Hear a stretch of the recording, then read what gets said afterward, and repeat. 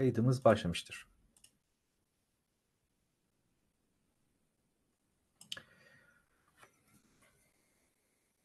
Evet, şu anda yayındayız. Ee, katılımcı sayımız 600'ün 600'e yakın. Ee, gitgide artıyor. Webex tekrar notification atmıştır. Nasıl yapalım? Ben başlayayım mı? Tamam. Ee, ismim Yasin Özkasap, yani Mehmet Yasin Özkasapoğlu. UNX Akademi'de çalışıyorum. Yönetici pozisyonunda.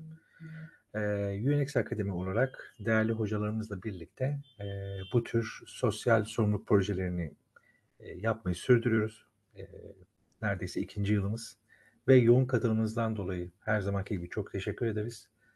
E, umarım hep beraber daha fazla e, eğitimler yapıyor olacağız.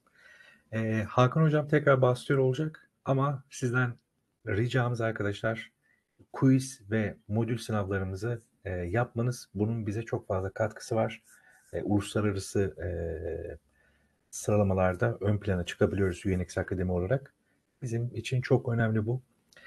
Benden bu kadar. Sorunuz olursa bana yazabilirsiniz. Herkes de benim mailim bulunması gerekiyor. Teşekkür ederim.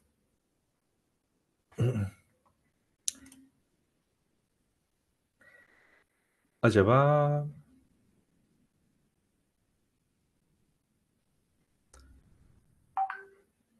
Onur Hocam veya Mustafa Hocam isterseniz giriş yapabilirsiniz. Herkese iyi akşamlar, değerli katılımcılar. Öncelikle hepiniz hoş geldiniz. E, katılımınız gerçekten bizim için çok değerli. E, UNX Akademi ile böyle bir işbirliği içerisinde olmaktan dolayı da mutluyuz. E, Hakan Hocama ve Onur Hocama da e, selamlarımı iletiyorum. Sesim az gelmekte. Şimdi nasıl? Daha iyi umarım. Okey. E, bilişim teknolojileri öğretmeniyim. E, bilgisayar ağları ve siber güvenlik konusuyla ilgileniyorum. E, bunun yanında e, Cisco Networking Akademi'de de Instructor Trainer olarak çalışmaktayım. Eğitimler vermekteyim. E, güzel bir eğitim olacak inşallah. E, ümit ediyorum. Çok güzel olacak gerçekten. E, benim e, bu aşamada söyleyeceklerim bu kadar. E, tekrar katıldığınız için çok teşekkürler. E, sözü Hakan Hocama ya da Onur Hocama devredebilirim. Hepinize iyi akşamlar tekrar. Ben e, Hakan Hocama devretmek üzere sözü şimdilik alayım. Herkese iyi akşamlar. İsmim Onur Demirkapı. E, bilişim teknolojiler öğretmeniyim. E, yönetim bilişim sistemleri alanında da yüksek lisans yapıyorum hali hazırda. E, Fatih Projesi Aydın ilk koordinatörüyüm. Python alanında çok çeşitli kurslar veriyorum. Sen Cisco tarafında verdim. Hem Unix Akademi ile daha önce verdiğimiz kurslar var. Hala YouTube kanalında da mevcuttur. E, yeni başlayanlar varsa Python oradan destek alabilirler hatta. E, Python kısmını beraber çalışacağız. E, katılım çok güzel. E, umarım hepimiz için keyifli, güzel bir çalışma olur. Teşekkür ederim. Katılımlarınız bizim için çok kıymetli. Hakan Hocam. Evet, hepiniz hoş geldiniz. İsmim Hakan Volkan. Ee, bu eğitimde birinci ve üçüncü atölye çalışmalarını sizinle birlikte yürüteceğiz. Biraz sonra size Neteket platformuna nasıl gireceksiniz, nasıl çıkacaksınız bunlardan bahsedeceğiz. Ee, ben de bilgisayar sistemleri öğretmeni ve yazılım mühendisiyim. Yüksek e, yazılım mühendisliğinde de yüksek lisans yapıyorum. Ee, ses ve görüntüde sorun var mı? Ben gayet net alıyorum hocam. Tamam. Ee, sorularınız olacaktır. Ee, evet sorularınızın hepsini şu an chat ekranında akıyor. Görüyoruz. Hepsine teker teker cevap vereceğiz. Bundan emin olabilirsiniz. Hatta biz konuyu anlatmaya başladığımızda ya da işte biraz sonra sunuma geçtiğimizde siz çoğu şeyleri yavaş yavaş mesela eğitim kaydediliyor mu? Evet kaydediliyor. Bu kayıtlara siz ulaşabilecek misiniz? Evet ulaşacaksınız. Bu tarz soruların tamamına e, cevap olacak şu anda anlatacağımız şeyler.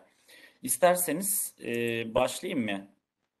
Hocam e, çok özür dileyerek chat paneline bir göz attım e, ve şu an KYK Wi-Fi'den dona dona izleyen bir arkadaşımız var.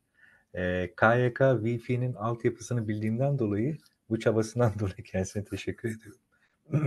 Çünkü Wi-Fi bağlantısı orada ne kadar iyi olsa bile e, yurtlardan gelen bağlantıların ne olduğunu çok az buçuk biliyorum ve e, çok güldüm ve bunu bir belir- belirtmek istedim. Teşekkürler.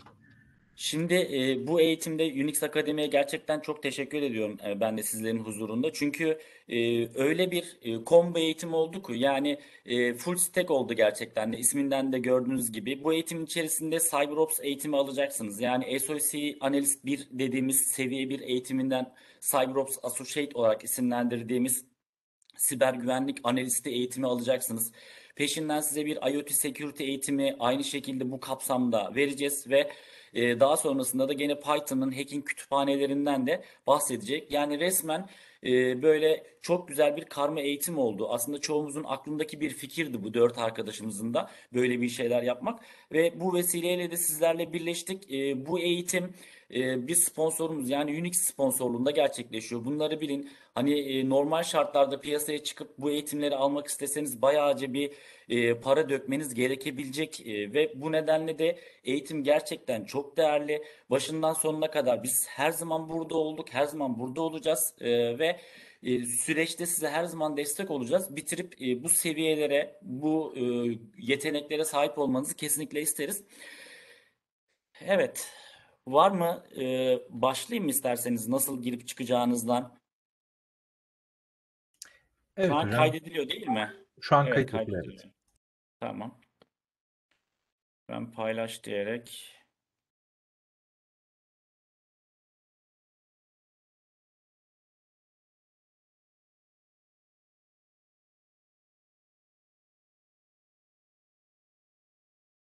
paylaşamıyorum ama yetkim var değil mi?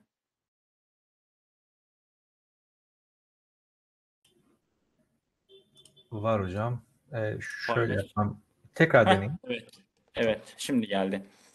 Paylaş diyelim. Chrome'u paylaşalım şimdilik. Evet, bizim e, sayfamız burası. Yani bizim gireceğimiz yer netaket.com. E, burada bazı soruları da cevaplayalım isterseniz. Şimdi e, bizim ana sayfamız burası ya da LMS sistemimiz burası. Buradan girmeye çalışacağız tamamen.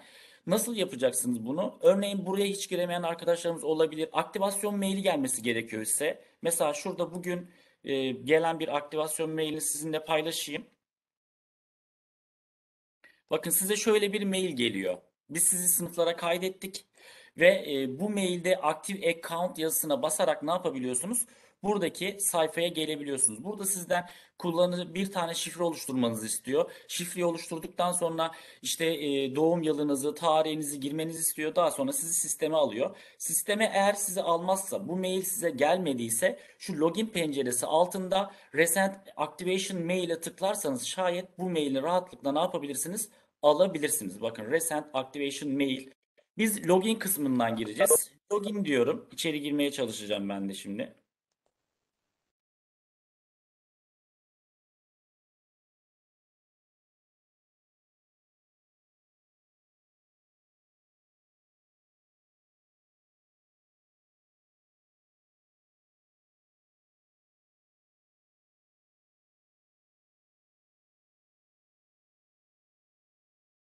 Evet bizim sayfamız burası. Gördüğünüz gibi 3 tane eğitim var. 3 eğitimi de sizin için sınıflarını açtık. Ee, burası bizim ana eğitimimiz. CyberOps Associate eğitimi.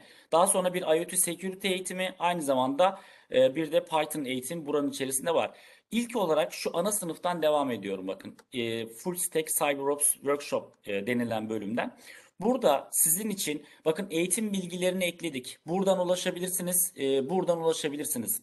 Lütfen sizden şu iki bölümü kesinlikle yapmanızı rica ediyoruz. Bakın şu iki bölüm mutlaka yapın.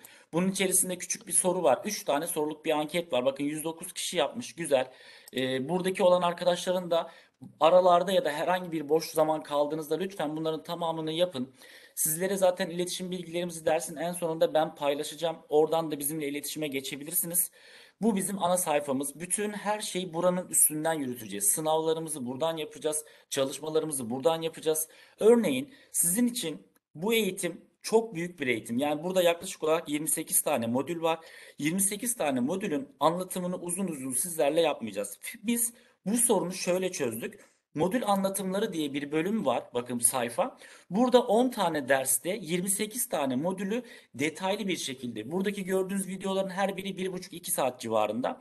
Bu videoları buraya attık. Bunları istediğiniz zaman erişebilirsiniz. istediğiniz zaman izleyebilirsiniz. Aklınıza takılan herhangi bir yer olduğunda da bize soru sorabilirsiniz. Peki hocam ben soruları nereden soracağım? Bakın şurada messages kısmı var. Bu messages kısmından bize sorularınızı sorabilirsiniz. Bize gelir. İleride sınava girdiğinizde sınavlar kısmından ne yapacaksınız? Bunları sınavlarınızın e, notlarınızın sonuçlarını kaç aldığınızı buradan görebileceksiniz. Burası bizim ana sayfamız. Bu sayfa üzerinde bütün işlemlerimizi çok güzel bir şekilde yürütmeye çalışacağız. Mini quiz'i lütfen yapın. Ee, sizlerin seviyesini öğrenmek istiyoruz. Ee, hangi bölümdesiniz, neler yapıyorsunuz ve bu quiz sayesinde de bir tık e, bazı şeyleri yavaş yavaş ilerletmeye çalışacağız. Eğitim bilgileri burada yer alıyor. Bakın atölye çalışmalarında neler olacak, hangi işler yapılacak sizlerle beraber bu süreci yöneteceğiz. Şimdi bu netaket kısmı ile ilgili herhangi bir aklınıza takılan bir şey e, var mı?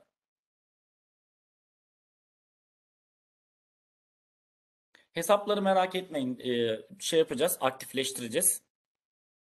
Hakan hocam müsaadenizle araya girebilir miyim? Tabii Ee, tabii. Chat ekranında birkaç tane arkadaşımız e, e-mail adreslerini yazmışlar. Kursiyer ol- olarak eklenemediklerini söylüyorlar. Ben dikkat ettiklerimi, e, gözüme çarpanları buraya not alıyorum. Eğitim bitiminde onları ekleyeceğimizi belirtmek istiyorum. Tamam, çok güzel olur hocam. Zaten buradan da destek oluruz. Evet. Bu eğitimin kayıtları hala devam ediyor. Daha da devam edecek. Yani bugün 30 Mart şu an için e, son kayıt tarihi diye düşünmüştük. Fakat e, yoğun katılım oluyor. Bayağı bir kişiden kayıtlar e, bugün son mu, bugün son mu diye mesajlar aldık. O sebepten ötürü kayıtları daha da ileriye taşıyacağız. E, yani bir biraz daha size süre tanıyacağız. Ama lütfen bu eğitimi kaçırmamanızı tavsiye ediyorum. Çünkü e, bayağı biraz e, bomba bir eğitim olacak gibi gözüküyor ki içeriklerden de görmüşsünüzdür zaten. O zaman hazırsak başlayalım. Ben şuradan paylaşımı durdurayım.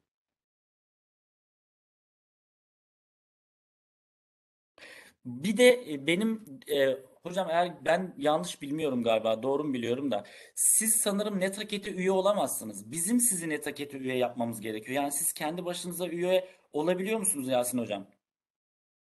Hocam kayıtları LinkedIn formdan ve e, diğer paylaştığımız dijital atılım sitesine koyduğumuz sitesinden topluyoruz. E, öncelikle şöyle bir yol çi- çiziyoruz. LinkedIn'e kayıt olan herkesi günde bir defa veya iki defa toparlayıp e, eğitimleri önce ekliyoruz, sonra Webex'e ekliyoruz. Dolayısıyla e, eğer ki yani öncelikle Neteket'e eklendikten sonra Neteket'ten tekrar export edildiğinden dolayı bir kişi Neteket'te varsa şu anda Webex'te var anlamına gelmekte. E, eğer ki e, şu an Webex'e bağlı Webex'ten herhangi bir mail alabiliyorsanız veya buradaysanız sizi Neteket'e ekledik anlamına gelmekte. Ama siz eğer ki forma kayıt olurken başka bir mail kullandıysanız doğal olarak biz ondan haberdar olamayız. Ee, yani dolayısıyla formları kayıt olurken şey yapmak daha faydalı. Neteket maili vermek daha faydalı. Tamam. İsterseniz şöyle bir çözüm üretelim. Ee, dersin sonunda Neteket'te erişim problemi olanlara bizim oluşturduğumuz o küçük bir form vardı ya hocam, Google Form. Evet. Onu paylaşalım. Onu Google doldursunlar, paylaş- oradan toplayıp tekrar import edebiliriz. Evet, olabilir. Google Form'u paylaşabiliriz. Evet hocam.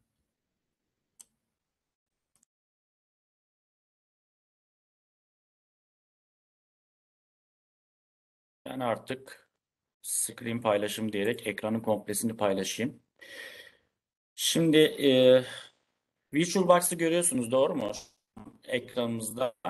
Kullanacağımız ilk e, bölüm için yani bugün sizinle beraber bir ransomware atağı e, yapacağız. Daha sonrasında bu yaptığımız ransomware atağını ise e, Siguil üzerinden izleyeceğiz ve inceleyeceğiz. Bu atakla ilgili ne tür bilgiler toplanmış, neler yapılmış. E, bu şekilde ilerleyeceğiz. Yani daha çok atölye çalışmaları ve lab çalışmaları olacak. İkinci partide de ikinci bölüme geçtiğimizde ise IoT Security bölümündeki lablardan hardening device yapacağız. Bu cihazlarımızı nasıl sertleştirebiliriz gibi konular üstünde konuşacağız. Ben e, sizinle sohbet ederken bir yandan da cihazlarımı açmaya çalışıyorum. E, bu cihaz buradaki 4 tane OVA dosyasını ben sizinle paylaşacağım. Merak etmeyin bu 4 OVA dosya sizinle paylaşılacak. İsterseniz sizler de e, bizim videolarımızı izleyerek bu videolar üzerinden de bu e, atakları sizler de gerçekleştirip aynı zamanda öbür taraftan e, bir ta- diğer tarafa geçip bu atağın analizini yapabilirsiniz. CyberOps eğitimi daha çok e, Blue Team dediğimiz timlere yönelik bir eğitim oluyor. Yani böyle saldırı kısmı çok fazla olmuyor. Fakat eğitim içerisinde e, şu tarz bir yaklaşım da e, yapılıyor. İlk başta bir saldırı gerçekleştiriliyor ve daha sonra o saldırının analizini yapılıyor. Aslında hem Red hem e, Blue çalışmış oluyoruz ve hatta ortada Purple bile olmuş olabiliyoruz. Bu tarz değişik e, şeyler oluyor. Şimdi hafiften ben bu şeyleri kontrol edeyim. Cihazlarımız deminden hata verdi de benim tamamı.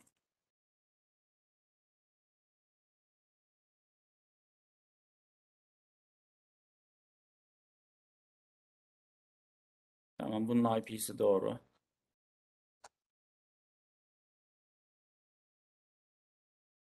Evet Kali Linux'ümüz çalışıyor. Kali'nin yanına da şu bunu alalım.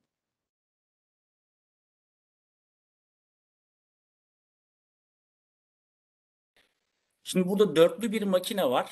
Bu dörtlü makine e, birbirine bağlı. Aslında bunu Paint ortamında çizeceğim size e, biraz daha böyle neler olduğu ile ilgili. Şimdi içeride bizim bir Metasploitable'ımız var aynı zamanda. Şurada göstermem gerekirse bakın bir e, bir CyberOps makinemiz var. Bir tarafta Kali'miz var internet tarafında olan. E, bir tarafta Metasploitable'ımız var ki bu e, DMZ dediğimiz biraz daha böyle savunmasız mekanizm yerde kalan bir makinamız. Bu da Security Onion'ımız ise bir firewall gibi e, ön tarafta duran bir cihaz. Aslında şöyle e, Paint üzerinden şöyle biraz kabaca çizmek istiyorum size topolojimizi.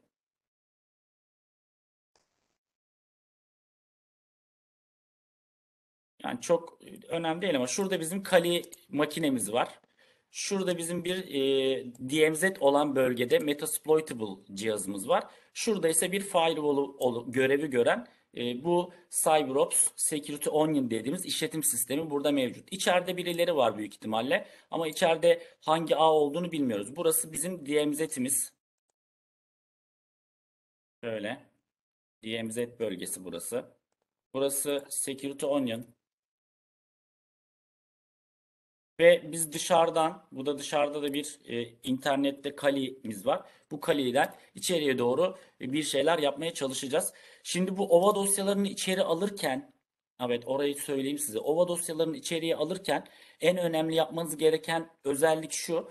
E, ayarlar sekmesinde aslında göstermem gerekirse şu A kısmından bütün e, MAC adreslerini dahil et seçeneğini seçmeniz gerekiyor içeriye alırken. Bununla ilgili size doküman da paylaşacağım. O doküman üzerinden de indirebileceksiniz. Burada e, bakın bir tarafta dahili A insight şeklinde, DMZ şeklinde, internet şeklinde ve en sonunda da NAT şeklinde konfigüre edilmiş. Bu konfigürasyonlar zaten size hazır bir şekilde verilecek. Siz bu hazır konfigürasyonlar üzerinden de bu işlemleri yapabileceksiniz. Evet. Paint üzerinden açıklayıcı bir şekilde çizmeye çalıştık. Şimdi şuradan, şimdi gelelim. Yavaş yavaş başlayalım. Ben Siguil'de çalıştırmak istiyorum. Sadece Siguil'deki hareketleri gözlemlemeniz için çalıştırmak istiyorum burayı. Analyst ve CyberOps. Peki hocam bu şifreler nerede? Nereden çıktı bu şifrelerin tamamı? Bunların tamamı e, vereceğim dokümanda gene yazacak. Bu e, şu an Siguil'i belki hızlı bir şekilde çalıştırdım. E, fakat Sigul üzerinde zaten size göstereceğim neler yapabildiğimizi. Sigul'i nasıl kullandığımızı da daha detaylı bir şekilde anlatacağım. Merak etmeyin. Şimdi e, benim daha önce elde ettiğim bir tane IP adresi var ve bu IP adresini kullanarak benim e, içeriye doğru e, bir girişim yapmam gerekiyor. Şimdi bakın buraya geliyorum nmap diyorum. Aslında topoloji topolojimiz var. E, şöyle en e, ping diyerek öncelikle bu Metasploitable'a ping atabiliyor muyum? Evet şu an Metasploitable'a ping atabiliyorum. Metasploitable'ın IP'si 209.165 200 235 209.165.200.235. Ben bu IP'yi e, çeşitli e, tool'larla örneğin e, ben bu IP'yi buldum. Dedim ki böyle bir IP varmış. Ben bu IP ile neler yapabilirim? Şimdi e, Cyber Kill Chain deniyor. İşte e, siber öldürme zinciri değil mi? Bir başka isim ya da bir başka bir sürü isimleri var ya da üç farklı yolla da anlatılabiliyor bu şeyler. Şimdi ilk başta saldırganlar bir keşif hata yapıyorlar. Diyorlar ki ben bir sisteme girmek istiyorum. Bununla ilgili bilgi toplayayım. Önce ne yapıyor? Ping atıyor. Bakın ping attım karşılığında cevap aldım. Ping attıktan sonra başka başka tool'lar kullanıyor. Devam ederek önce işte keşif hata, daha sonra erişim hata ve daha sonra da ne yapıyor? Ee, saldırıyı gerçekleştiriyor. Ya da cyber kill chain dediğimizde bunu e, 7-6 6-7 tane aşamayla bunları teker teker e, sıralıyor. Değişik değişik yö- yöntem ve metotlar var. Şimdi bir Nmap sorgusu çekiyorum buraya. Nmap 209.165.200.235. Bu ne yapıyor? Karşıdaki cihazı tarıyor ve taradıktan sonra da şurada hareketler olur mu bilmiyorum ama yavaş yavaş buralar hareketlenmeye başlayacaktır biraz sonra. Şöyle en aşağıya kadar indireyim. Nmap ne yapıyor? Nmap verilen IP sayesinde karşıdaki bütün cihazların tamamını teker teker tarıyor. Diyor ki şu karşıda e, hangi açık portlarımız var? Bakın benim şu an karşımda 21 nolu port açıkmış. FTP, SSH, Telnet, SMTP, HTTP gibi ve hangi port numaralarıyla çalıştığını görebiliyorum. Nmap sorgumu biraz daha genişletiyorum. Tire S servisleri gönder göster bana. Tire V versiyon numaralarını da göster. 209.165.200. 235 235 Tire tire reason diyorum bir de. Karşıdaki servislerin açık olup olmadığını bana söyle. Yani gerçekten karşı tarafta böyle bir servis varsa ona bir paket gönder. Bir görelim bakalım karşı tarafta gerçekten bunlar açık mı? Gerçekten burası çalışıyor mu? Bunları bir görmek istiyorum.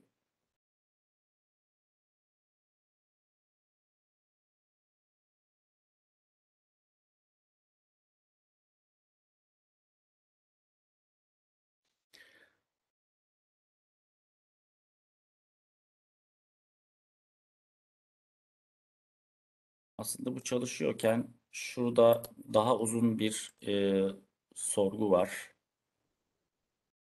Bunu bilerek başlatmak istiyorum ki siz beklemeyin.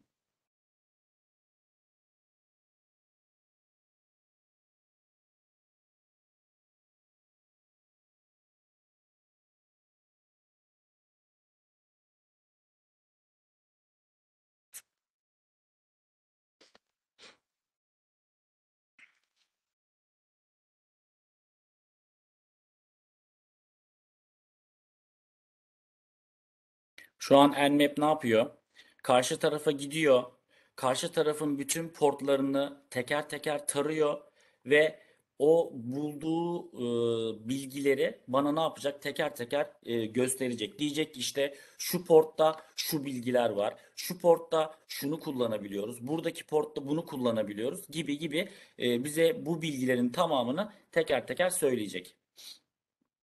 Bu sorgular e, biraz uzun sürebiliyor. Örneğin bu sorgu biraz uzun süren bir sorguydu. O yüzden aslında öncesinde çalıştırıp e, bu sorguyu şurada size hızlı bir şekilde göstermek istiyordum. Hatta bundan sonraki sorgu biraz daha uzun sürüyor diye tahmin ediyorum. Security Onion Nmap taramasını görebiliyor mu? Buradaki hareket görebiliyor.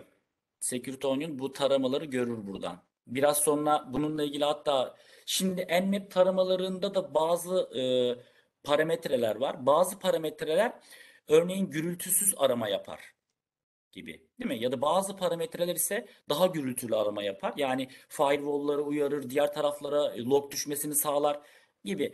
Şurada birazcık Siguil'den size bahsedelim aslında hazır bu tarama yapıyorken.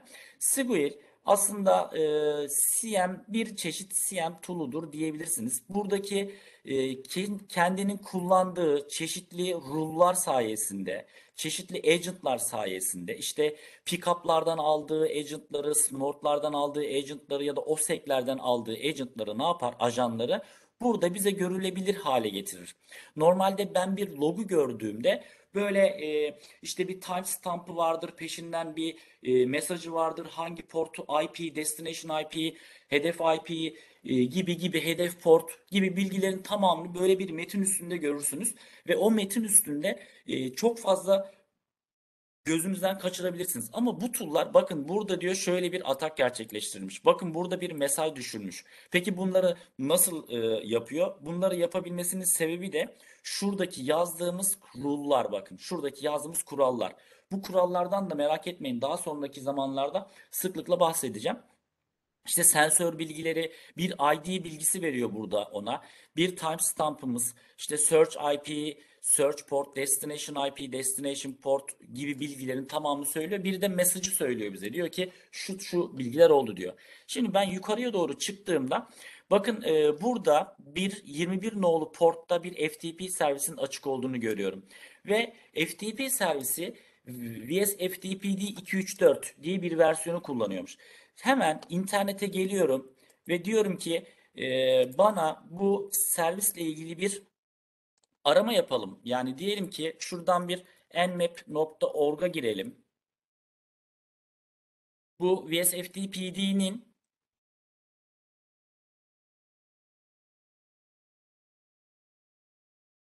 yanlış nmap'e girdik.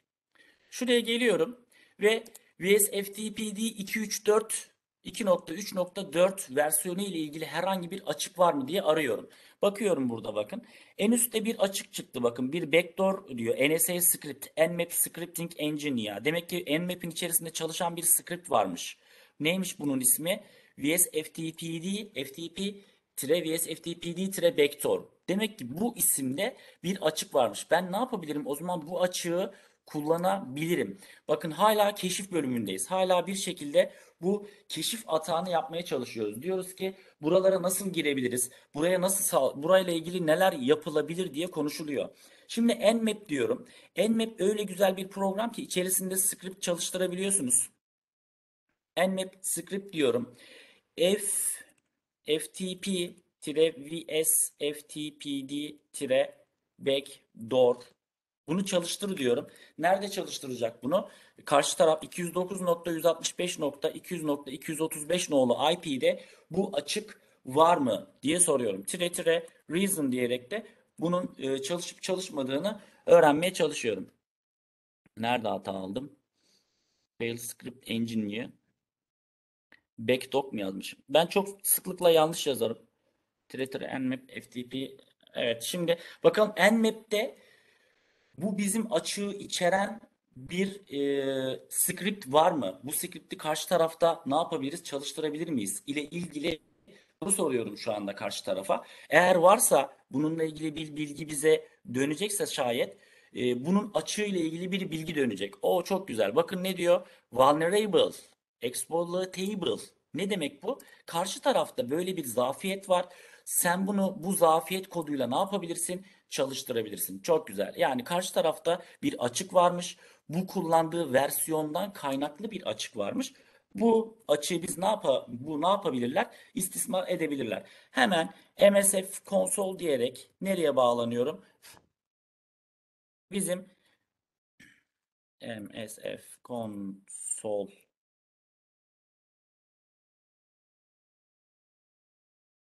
MSF konsola bağlanmaya çalışıyorum. MSF konsol bildiğiniz gibi Metasploitable e, bir framework'tür. İçerisinde bir sürü exploit vardır, bir sürü payload vardır gibi gibi işte bir sürü auxiliary kısımları vardır. Bayağı bir içerisinde zararlı yazılımları karşı tarafa exploit edebileceğiniz, gönderebileceğiniz bir framework'tur. E, çok sıklıkla kullanılır. Belli bir zamandan sonra yavaş yavaş artık bu framework'ler çok çok e, şeylerin işlerini görüyor ve işi bayağı bir hızlandırabiliyor. Gördüğünüz gibi 1639 tane exploit varmış. 944 tane auxiliary, 289 post, 472 payload'lar varmış. 40 tane encoder varmış içerisinde. Şimdi biz eğer böyle bir şey varsa şu e, search yaparak search diyelim. VSFTPD Bakalım böyle bir şey var mı burada çalıştırabileceğimiz bir VSFTPD var mı karşı tarafta? Yani burada kullanabileceğim Metasploitable'ın içerisinde Metasploit veri tabanı içerisinde VSFTPD var mı? VSFTPD doğru yazdın değil mi? Tarama yapmasını bekliyorum. Eğer bu bunu bulursa e, bununla ilgili içeriye doğru e, girmeye çalışacağız. Ya da e, hackerlar bu şekilde bir yöntem ya da metot izliyorlar. Bu yapılan şeyler şu date time'a göre sıralayalım bakalım bir. Şu ana kadar herhangi bir log düşmedi gibi gözüküyor değil mi? Evet MSF konsol bunu buldu. Neredeymiş? Şuranın içerisindeymiş bakın. Şuradaymış. Sağ tuş kopyala. Bu e, exploit klasörün içerisinde, Unix klasörün içerisinde, işte FTP içerisinde vs FTP'de 234.backdoor kısmında bu zafiyeti ne yapabiliyoruz? Kullanabiliyoruz. O zaman kullan diyelim. Bunu. Enter. E, virgül mü yaptım bir de? Enter. Evet. Zafiyetin içerisine geldik. Options diyoruz. Options. Options bu zafiyetin genelde 2 ya da 3 e, bilemediniz 4 tane komutu olur. İşte set etme, e, close örneğin ya da işte remote host, remote port gibi çeşitli e, şeyler olur. Şimdi ben burada ne yapacağım? Zaten gördüğünüz gibi optionlarına baktığımda ya host'u e, yapabilirim ya da bir portu e, hedef alabil, alabilirler. Burada r set diyorum buraya. Set r host 209.165.200.235 diye IP'miz büyük ihtimalle. Enter'a bastığımızda şimdi tekrar e, options diyorum. Options yazabilirsem tabii. Evet. Bir önceki options yazdığımda gördüğünüz gibi burası boştu. Şimdi options yazdığımda gördüğünüz gibi buraya artık ne oldu? Bu e, bölüm geldi. Artık keşif hatanın burada sonuna gelmiş oluyoruz. Artık karşı tarafta bir exploit olduğunu bulduk. Bu exploit'in e, karşı tarafa gönderilebilir olduğunu da tespit ettik. Artık karşı tarafa bu exploit'i de gönderdik. Yani aslında erişim kısmına kadar geldik. Şu an tam erişimle e, hizmet reddi kısmındaki yani servisleri e, hizmetleri servis dışı bırakma kısmına kadar ilerledik. Artık burada yazacağımız en e, kilit kelime exploit et demek. Exploit dedi enter'a bastığımızda karşı tarafa doğru bir bağlantı gerçekleşiyor. Karşı tarafa bağlantı gerçekleştiğinde bakın şu an e, içerisine muhtemelen düştük. Hostname diyerek girmeye çalışıyorum. Bakın artık neyin içerisindeyiz? Metasploitable framework'ün içerisindeyiz. Who am I diyelim. Biz kimiz? Root kullanıcısı olarak bağlanmışız. Şimdi sizin yaptığınızda exploit dediğinizde eğer içeri giremezse bir defa daha exploit yazın. Tamam? Eğer exploit yazdığınızda içeri giremezse bir defa daha yazın. İkincisinde büyük ihtimalle içeriye girecektir. İçeriye girdik. Burada artık e, ne yapacağız? Burada ls diyerek dosyaları görüntüleyebilirsiniz. E, eğer Linux bilginiz varsa Linux ile ilgili videoları da isterseniz ben size eklerim o sayfamızın eğitim bilgileri kısmına. Orada Linux'te işte ne tür işlemler yapıyor, örneğin cat komutu ne iş yapıyor, ls komutu ne iş yapıyor gibi gibi bilgileri ne yapabilirsiniz? Çalışabilirsiniz. Gördüğünüz gibi karşınıza böyle grafiksel bir ekran gelmedi. Bakın prompt bile çıkmadı değil mi? Yani C2 nokta üst üste gibi bir şeyler yazıyor mu? Ya da dolar işareti falan var mı? Yok. Direkt sistemin içerisine girdiğinizde böyle sizi çıplak bir ekran karşılıyor. Yani girdiğiniz bölümler e, böyle yerler oluyor genelde. Hiçbir şey sizi karşılamıyor. Dümdüz bir ekran üzerinde bir şeyler yapmaya çalışıyorsunuz. Tekrar ls yaptım. Şimdi kullanıcının Linux tabanlı sistemlerde kullanıcının paroları nerede tutulur? cat slash etc slash shadow dosyasında tutulur. Cat komutuyla ne yaptım? Bu shadow dosyasının içeriğini listeledim. Şimdi yapacağım iş şu. Bakın bu karşıdaki kişinin şifrelerini kopyalıyorum.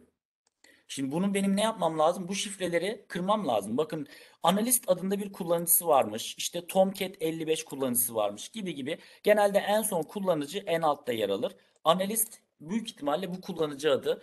Burada da bu kişinin şifresi var bakın. Şu bölüm bunun şifresi. İşte bundan sonraki grup ID'leri, user ID'leri gibi gibi diye böyle gidiyor bu tarafa doğru. Bir sürü kullanıcı var. Bakın root kullanıcısının da aynı şekilde şifresi var. Daemon kullanıcısının da var. Ben burada artık e, bu şifrelerin tamamını buraya aldım. Şimdi şuradan yeni bir terminal daha açıyorum. Bu şifreleri bir kaydedelim buraya. V editörüyle kaydetmek istiyorum. V işte şifre nokta txt Bir editörü e, kullanması bayağı meşakkatli olan bir editör. E, başka editörler de var. Na- Nano ed- editörü var, SC editörü gibi editörler var. i'ye basarak insert moda geçiyorum. Sonra şuradan bir yerden pasta diyelim. Bu şifreleri buraya yapıştıralım. Çıkmak için ESC iki nokta üst üste W, Q ve ünlem yapıp Enter'a basıyorum. W, Q ünlem yaz, çıkış yap ve dosyanın üstüne kaydet demek. Bakalım benim şifrelerim buraya geldi mi? Şifre.txt. Evet şifrelerimiz buraya geldi. Şimdi bildiğiniz gibi Kali'nin içerisinde bir sürü e, şifre kırma tool'u var. Bunlardan en çok kullanılan şifre tu- kırma tool'larından bir tanesi de John tool'u. Geliyorum. John diyorum. John'la bu şifreyi kırmaya çalışacağız. Tire tire show diyeceğiz. Neyi kırmak istiyorsun? Slash root'un içerisindeki slash biz şu an buradayız değil mi? Bir pvd yapabilir miyiz? Root'un içerisindeyiz. ls diyebilir miyiz? Şifre txt burada değil mi? Evet buradaymış. Hemen şuradan John'umuzu tekrar yazalım. John the River arı tool'umuz. John tire tire show değil mi? Ee, şifre nokta txt. Bakalım e, bu bunu kırabilecek mi? Burada bir parantez açmak istiyorum. Ee, gördüğünüz gibi şu an ben John'un içerisinde bu şifreleri gönderdiğim anda e, normalde aslında burada hackerların en uzun beklediği yer burası. Burada bana çok hızlı bir şekilde sonuç döndü. Evet çünkü hash kodu analistin CyberOps hash kodu John'un içerisindeki word liste vardı. Word listleri biliyorsunuz bu tool'ları çalıştırabilmek için e, 4 GB'lık, 5 GB'lık, atıyorum 10 GB'lık Word listeler olur. Siz o Word list e, içerisinde bu şifreleri kılabilmek için bir brute force atağı gibi aslında hash'leri teker teker denersiniz. Ve e, bu eğer eş- eşleşen bir hash'iniz varsa size direkt bu karşıya söyleyecekmiş. Bakın ben ne yaptım? Analist kullanıcısının bu hashlenmiş şifresini çözdüm burada. John tool'unu kullanarak. Ve bunun tool'un şifresi neymiş? CyberOps'muş. Artık ben ne yapabilirim? CyberOps kelimesini kullanarak kullanıcı adım zaten analist. Diğer tarafta ise şifrem de CyberOps'muş. Hemen bir SSH bağlantısı yapıyorum. 209.165.200.235 Tabii bu bunu yaparken direkt böyle de yapabilirsiniz ya da analist diyerek değil mi? Analist kullanıcısıyım ben. Buraya bağlanmak istiyorum. Şu an Metasploitable'ın içerisine girmeye çalışıyoruz. Şu an Metasploitable'ın içerisine girmeye çalışıyoruz. Eğer biz Metasploitable'ın içerisine girmeyi başarırsak burası bir DMZ bölgesi olduğu için e, şimdi burada bildiğiniz gibi şöyle bağlantılar var değil mi? Buradan buraya bir bağlantı, buradan içeriye giden bir bağlantı aynı şekilde söz konusu. Bu tarz bağlantılar var. E, ya da işte bu Kali de aynı şekilde buradaki internetten buraya bağlı olduğunu düşünebilirsiniz. Eğer biz DMZ'e sızabilirsek, DMZ'e yani savunmasız bir bölgeye sızabilirsek buranın içinden ne yapabiliriz? Security Onion'a geçiş yapabiliriz. Security Onion'ın içerisinden de içeriye doğru ne yapabiliriz? Ee, yolumuzu devam ettirebiliriz. Bu nedenle bu bölümler kullanılıyor. Password CyberOps yeni kırdım şifreyi. Evet şu an neredeyim? Ben e, CyberOps'un içerisindeyim. Hostname yazdığımızda artık hostname bilgisinin geldiğini göreceksiniz. Şu an Metasploitable Framework'ün içerisine girdim. Bakın OSEC'te yavaş yavaş hareketlenmeler başlıyor bu taraflarda da. Metasploitable'ın içerisindeyiz. Metasploitable'ın içerisindeyiz. Şimdi e, ben bu Metasploitable'ın gateway'ini öğrenmek istiyorum. IP root. Bu nereye bağlıymış? 209.165.200.226 nolu IP'ye bağlıymış bakın. Bu IP bunun neymiş? Gateway'iymiş. Bu bilgiyi de öğrendim bakın. Çünkü içerideyim artık. İçeride olduğum için ne yapabilirim? Girebilirim. SSH diyorum. Bu sefer gene analiz kullanıcısı adıyla bağlanamaz mıyım ben bu tarafa?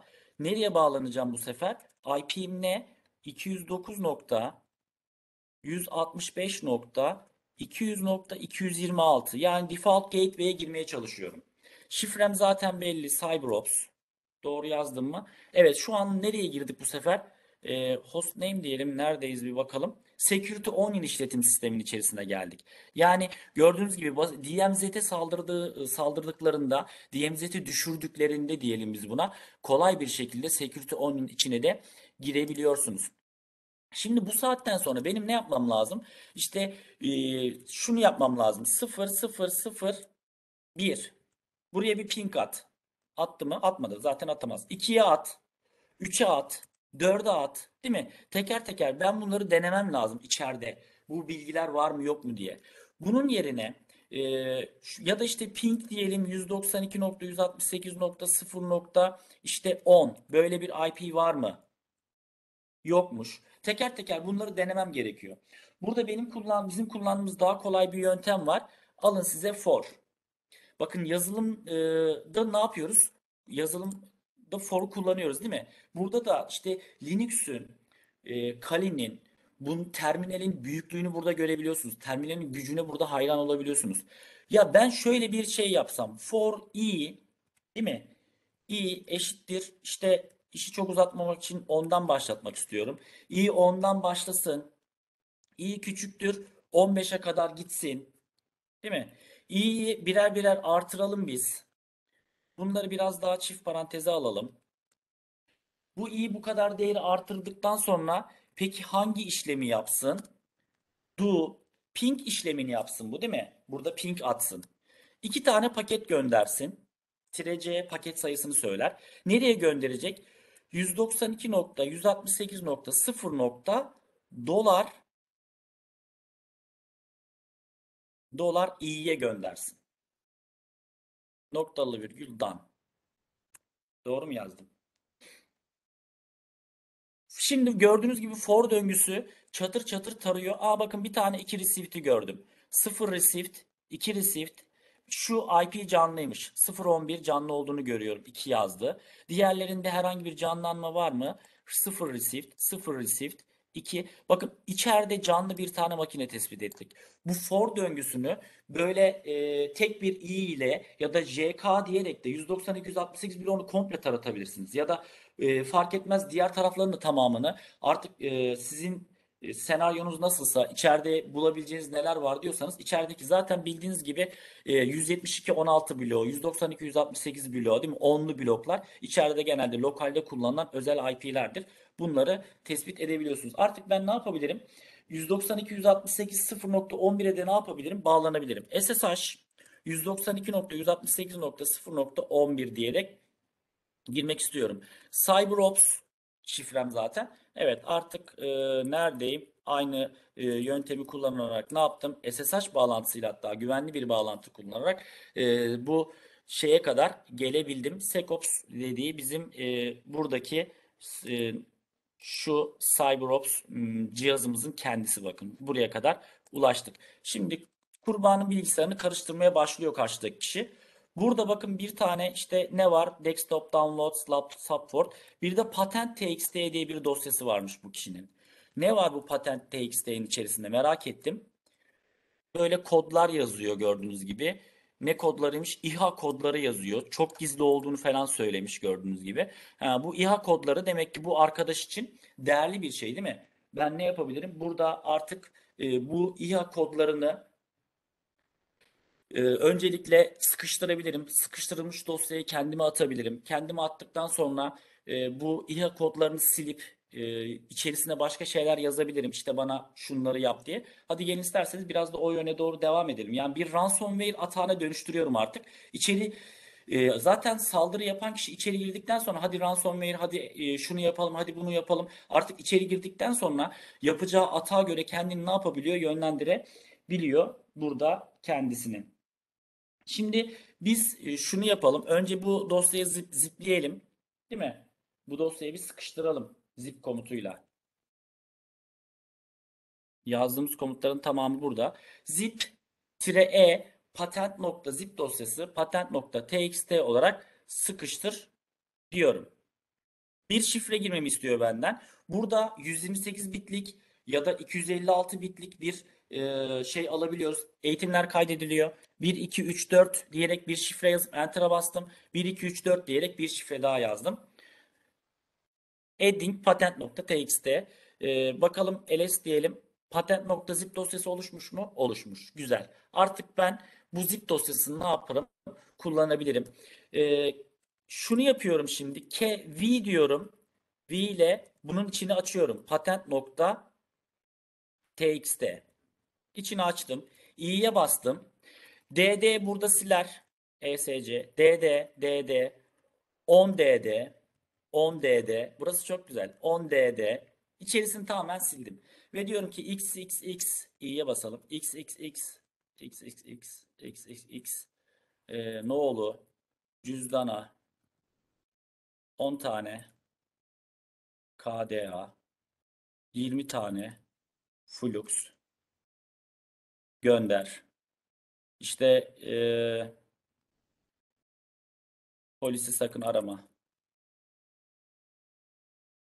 Dosyaların elimizde.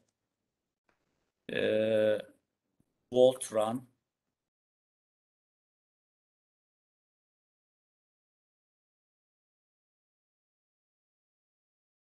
Team. Yazdım. İki nokta üst üste ESC, iki nokta üst üste W, Q, ünlem yapamadım. ESC, iki nokta üst üste W, Q, ünlem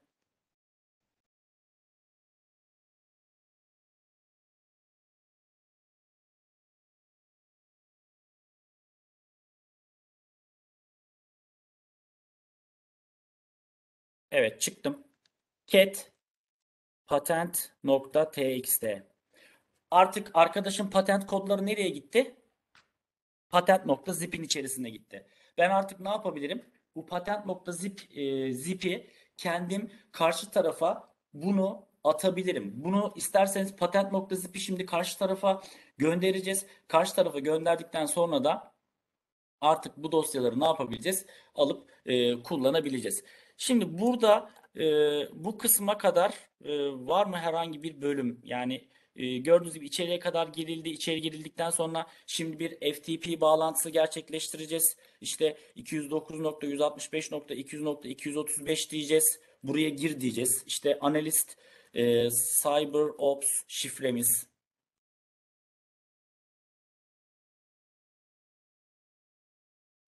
Evet FTP'nin içerisine geldik. Put diyeceğiz. Put patent nokta zip. Bu dosyayı buranın içerisine koy diyeceğiz. Bu patent nokta zip'i ne yapacak? Karşı tarafa gönderecek. Karşı tarafa gönderdikten sonra da biz ne yapabiliriz? Bunu kolaylıkla bu tarafa çekip alabiliriz.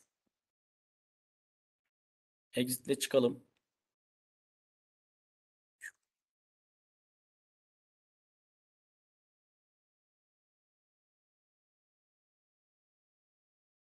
Evet, sorusu olanlar varsa bakabiliriz. Hep aynı kullanıcı kullanıyoruz. Çünkü bu kullanıcı e, şöyle söyleyeyim. Sizin siz bir A, A belirlemişsiniz kendinize. Şöyle anlatalım. Mesela şurada gördüğünüz gibi. Buradaki A üzerinde ne yapabiliyor? Buradaki e, bir kullanıcı burada da oturum açabilir. Zaten Active Directory var değil mi bildiğiniz gibi? Bu tarz şeyler var. E, ama burada engellendiyse tabii bunların bizim yaptığımız uygulamaların da engellemeleri oluyor tabii ki de. Yani güvenlik e, şu an bizim burada bir kullandığımız bir senaryo var aslında bakın. Bu senaryoya uygun olarak biz gerçekte bu atakları zaten gerçekleştiremeyiz. Her zaman bir nereden çalışıyoruz? Bir sandbox üzerinden çalışıyoruz. Genelde bu sandbox üzerinden bu işlemleri ne yapmaya çalışıyoruz? Göndermeye çalışıyoruz değil mi? Evet sorunuz var mı? Kontrol edelim.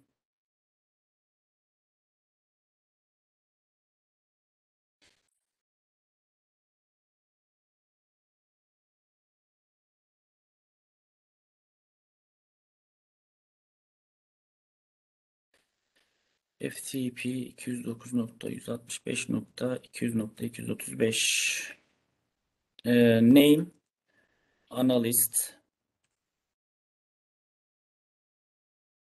analyst password cyber ops put patent nokta zip. Gönder karşıya. Karşıya patent nokta zip gitti. Şu an nerede patent nokta zip? Bizim Metasploitable'ımızın içerisinde. Ha şekli devam ettireyim ben size. Şurada da bir e, cihaz tespit ettik. Bu da e, Security CyberOps Workstation olarak isimlendirilmiş.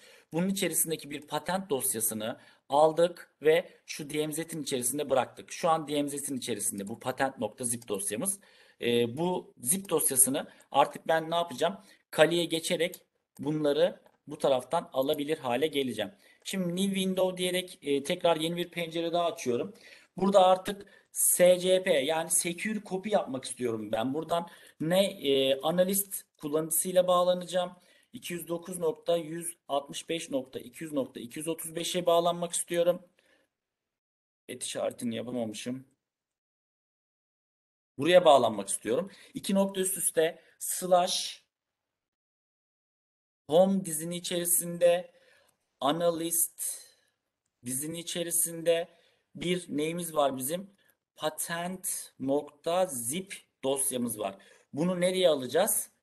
Bizim kök klasörümüze almaya çalışacağız. Şimdi Secure Copy gene karşı tarafta bir e, connection açacak. Bir bağlanmaya çalışacak oraya. Eğer yazdığımız şeyler doğruysa patent.zip dosyasını bu tarafa alacağız. Ve karşıdaki kişi bize parayı ödediğinde biz o e, şeyi ne yapacağız? Diğer tarafa aktarabilir hale geleceğiz. Şu an aslında e, bu son aşamamız. Bu son aşamayı da bitirdikten sonra artık Cyber Ops dediğimizde evet %100 taşındı. Çok güzel. ls yapalım burada bir.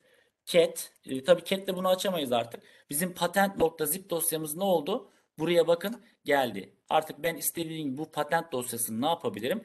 Çok güzel bir şekilde alıp e, kullanabilir. İşte bir ransomware atağı bu şekilde gerçekleştiriliyor. Atağımızın e, atak nasıl yapılıyor, nasıl gel geldik, nasıl yaptık kısmı kısaca bu şekilde. Bundan sonraki kısım artık analiz kısmına başlayacağız. Yani nasıl oluyor da analizini gerçekleştireceğiz. Burada kişiler bize nasıl bağlanmış, bunlar bağlandıktan sonra ne tür e, bilgiler elde etmiş bizden. Biraz daha böyle artık e, Blue Team kısmına geçip mavi tarafta o herkesin büyük büyük ekranları oluyor ya. O ekranlarda teker teker ne yapacağız? E, bunları izlememiz gerekiyor.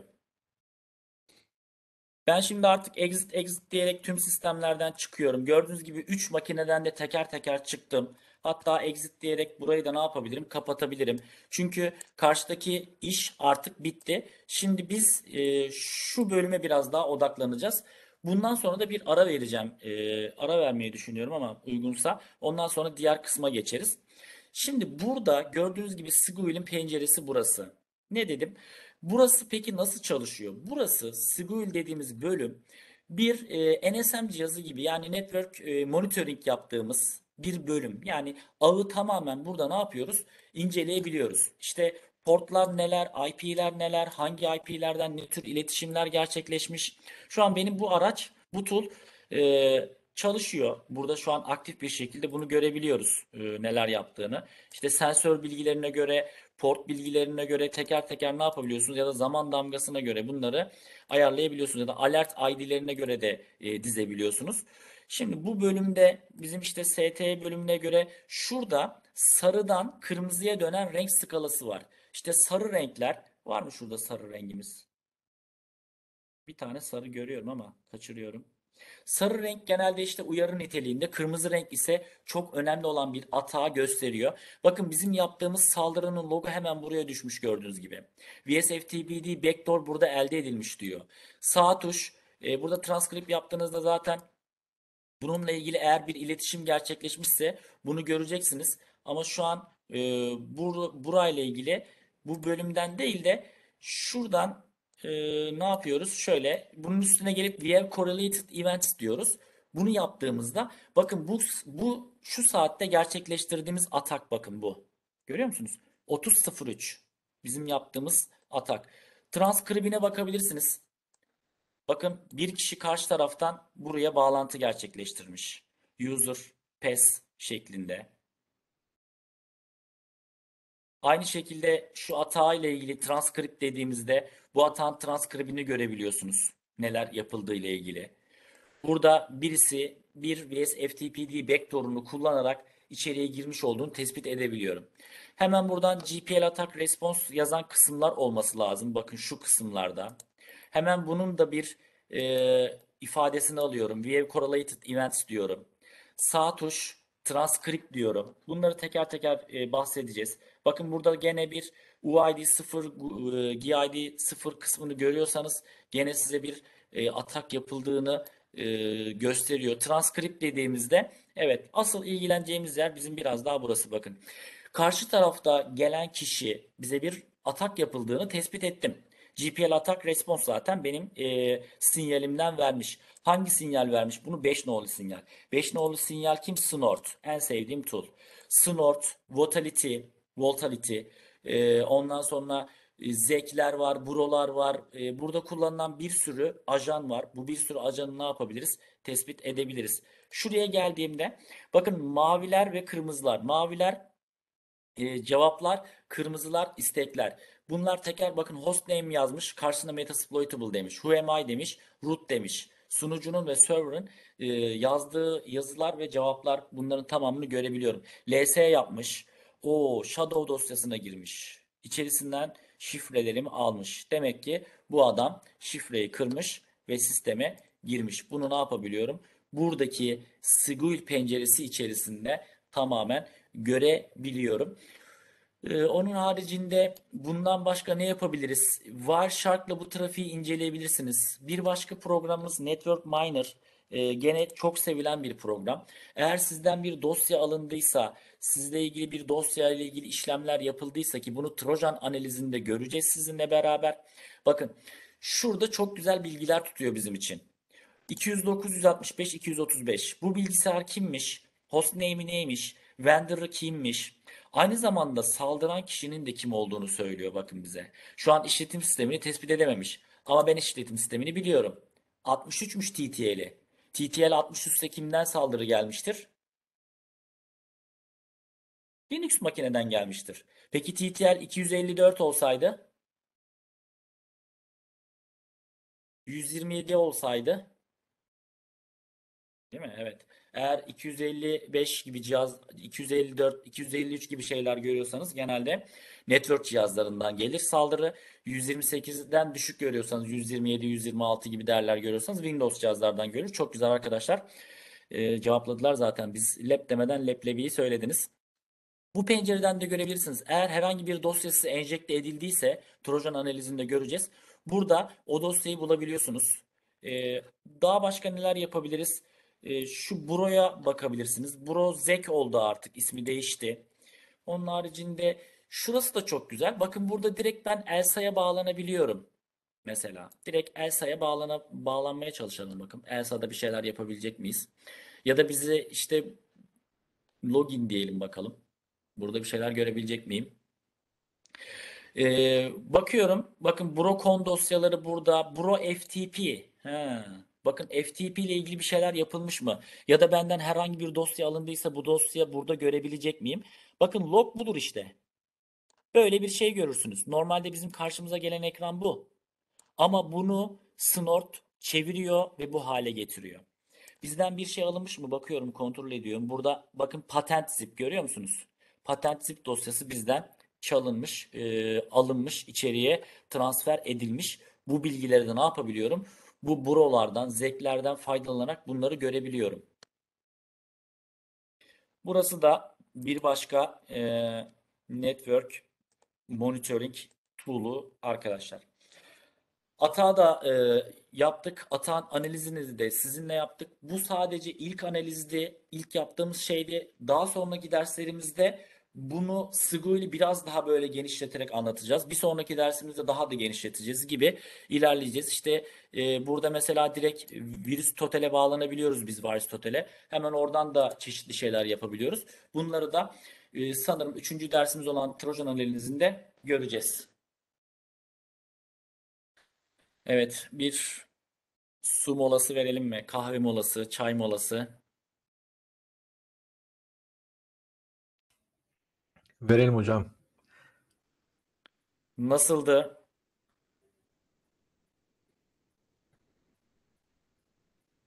Gayet iyi hocam. Zaten alkışlar geliyor şu anda. Ee, genel olarak chat panel, bu arada araya çıkalım hocam. Sizi yormayayım ben. Ben genel e, chat panelinden okuduklarımı bir özetleyecektim. Ama dönüşte özetleriz hocam. Tamam. Sizi çok yormayalım. Araya çıkalım isterseniz. Olur. Chat'ten de destek oluruz. Bir e, ne kadar ara verelim? Şimdi 9'u 5 geçiyor. E, 9'u 15 iyi mi? 9 15 iyidir.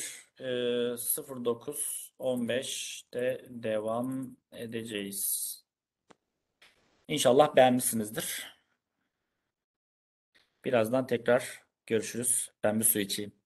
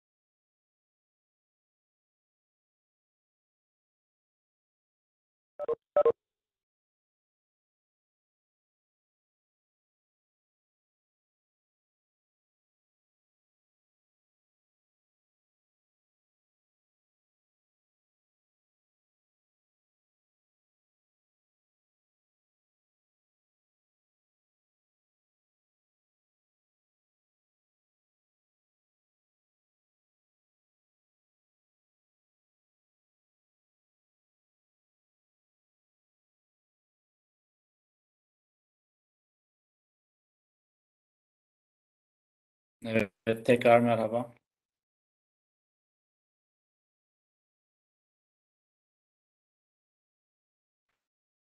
Bu süreçte ara verdiğimizde lütfen mini quiz'i doldurursanız çok sevinirim.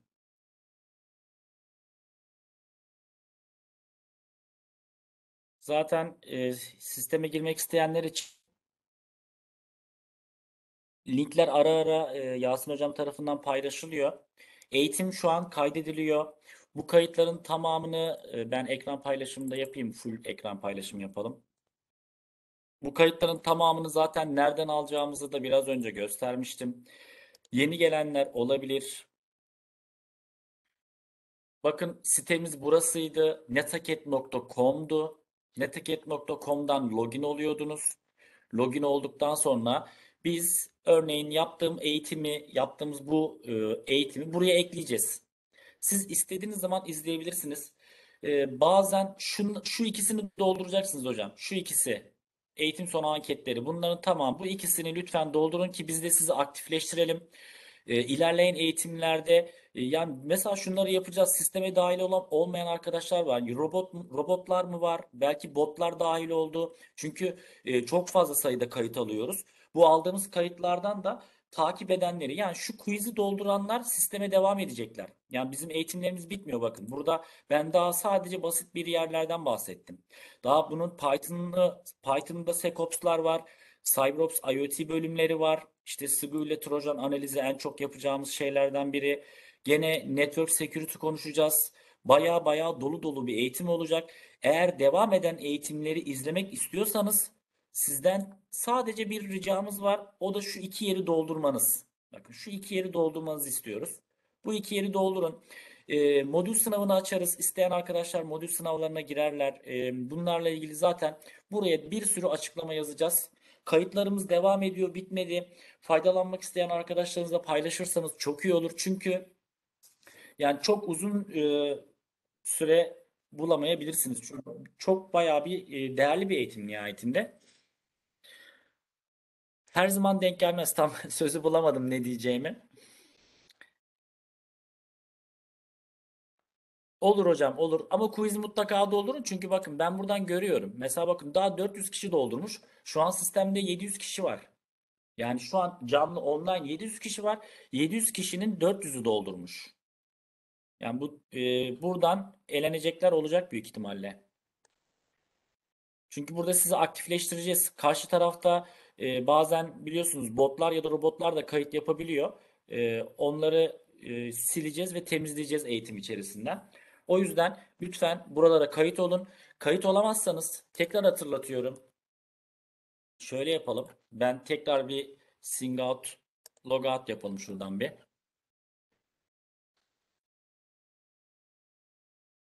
Bir defa daha göstereyim size nasıl girebileceğinizi sisteme. Sizi biz sisteme kaydettiğimizde şöyle yeşil bir e, ikon gelecek. Bakın Networking Akademi'ye kayıt oldunuz diye. Bu Active Account'a tıkladığınız anda otomatik olarak sizi şifre sayfasına yönlendirecek. Bu sayfa değil ama tabii. Şifre sayfasına yönlendirecek. Büyük harf, küçük harf, nokta e, ve karakter sınırlaması var. Bunları yaptıktan sonra e, bir de e, doğum tarihi, doğum yılı gibi bilgileri doldurduğunuz anda otomatik olarak düşeceksiniz sınıfın içine. Eğer bu mail gelmediyse Reset Activation Mail diyerek lütfen kendiniz isteyebilirsiniz bunu. Bakın kendiniz şifre isteyebilirsiniz. Çok fazla sayıda şifre girdiğinizde sizi bloklayacaktır. Blokladığında lütfen e, ertesi gün giriş yapmaya çalışın ya da 3-4 saat sonra tekrar giriş yapmaya çalışın. O zaman çözülecektir. Çözemeyen arkadaşlara ben zaten dersin en sonunda e, iletişim bilgilerimi vereceğim ya da fark etmez zaten LinkedIn'den LinkedIn'dan bize e, çok kolaylıkla ulaşabilirsiniz. Buradan e, Recent Activation Mail kısmını lütfen unutmayın. Login diyorum ben. Kullanıcı adımı yazıyorum tekrardan.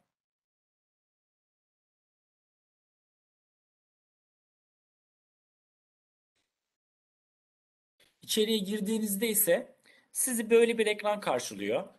Şöyle bir ekran karşılıyor gördüğünüz gibi. Bir LMS sistemi dediğimiz bölüm. Burada şurası bizim ana sınıfımız. İlk gireceğimiz yer burası. CyberOps Associate kısmı. En önemli bu bölümde çoğu duyuruları yapacağız. IoT Security Lab'ları yapacağız. Python Lab'ları yapacağız. Devam ediyorum. İçerisine giriyorum buranın. Ve burada artık bütün bilgilere buradan ulaşabilirsiniz. Bakın modül anlatımları var. 28 modüllük dev bir eğitim. Ee, Bunların hepsini teker teker anlatmaya çalışırsak eğer bu eğitim en az 3 ay sürer. E, Çünkü teker teker bunların anlattığımız zaman.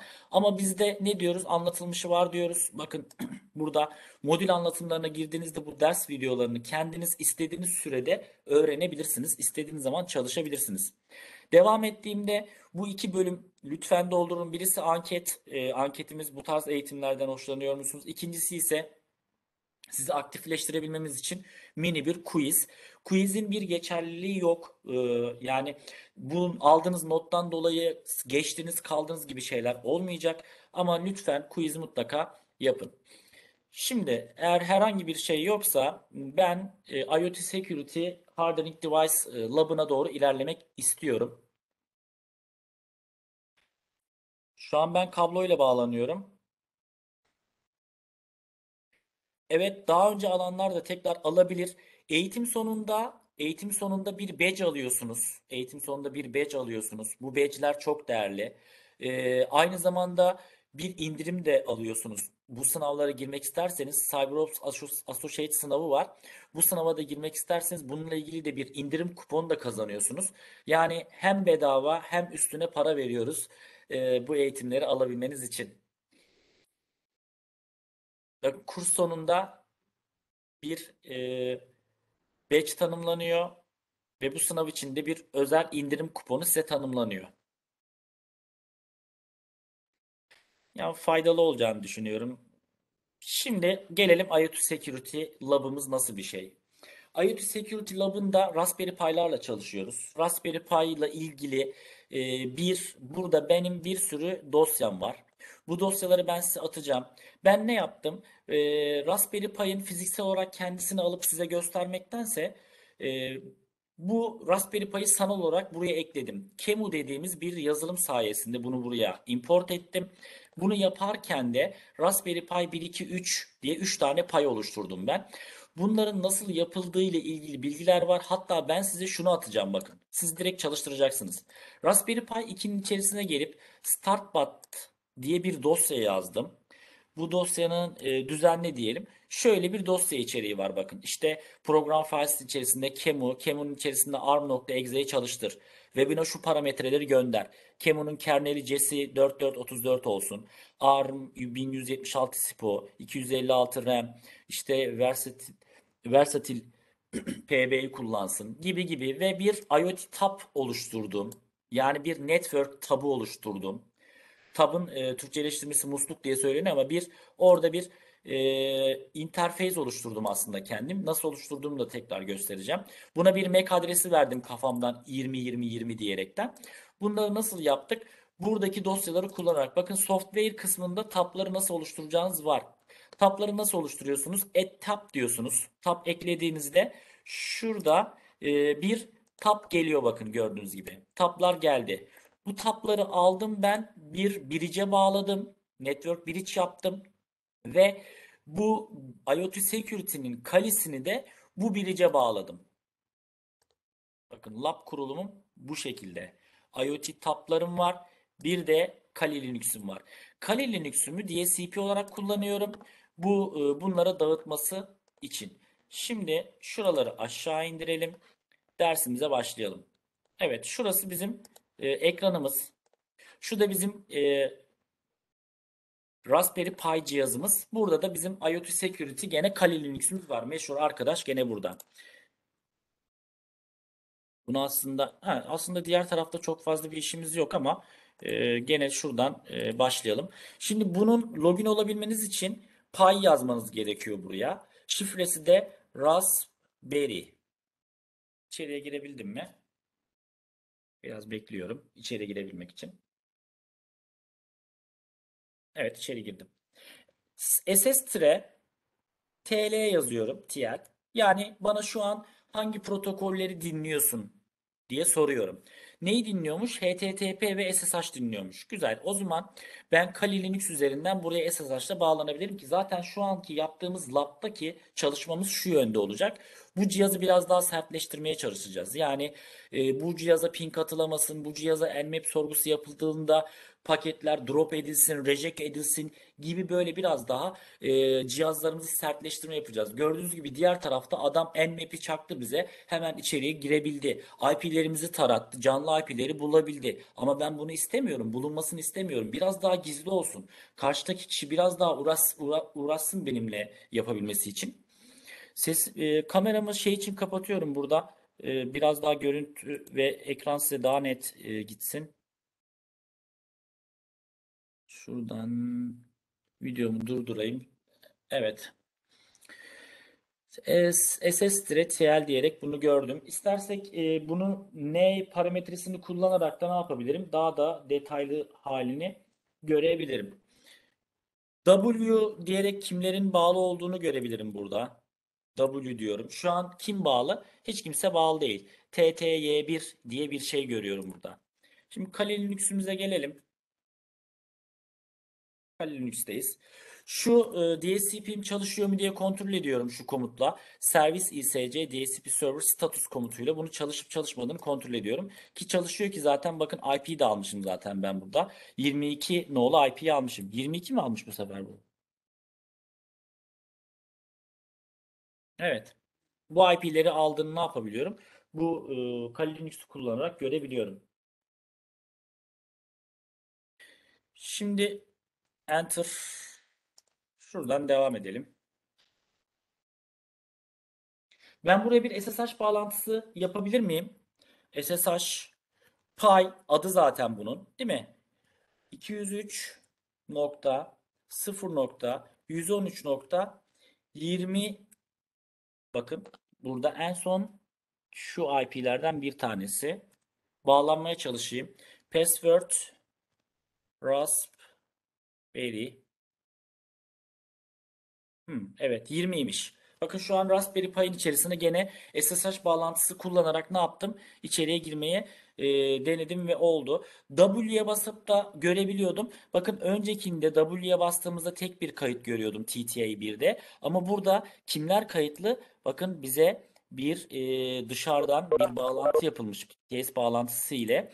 Bu e, hangi taraftan geliyor? Kim buraya bağlanmış? 203.0.113.1 IP'si buranın içerisinde bağlanmış olarak görebiliyorum. E, ben şurada e, şey de yapacağım. CTRL Shift T diyerek iki tane tab açtım kendime. İki tane tab oluşturdum. Şimdi artık benim diğer taraftaki şu şuna devamlı bağlanmama gerek kalmadı. Artık e, pay komutlarını buradan yazacağım. Kali komutlarını da buradan yazacağım. Bakın iki tane terminal açtım kendime. Çift terminalde çalışacağım. Bir taraf Py terminali, bir taraf Kali terminali. Şimdi Py terminalinde ya da Kali terminalinde neler yapabiliyoruz? Gene bir Nmap sorgusu çalıştıralım. 203.0.113.20.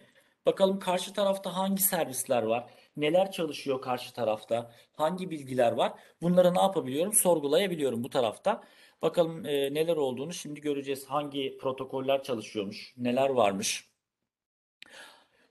Bakın SSH ve HTTP. Başka hiçbir protokol yok. Güzel, hızlı bir cevap döndü bize de. İşte 22'de SSH varmış, HTTP'de 80 varmış. Bunlar zaten bildiğiniz şeyler değil mi? Gene e, burada bir servis daha çalıştıralım. sudo diyelim işte sistem status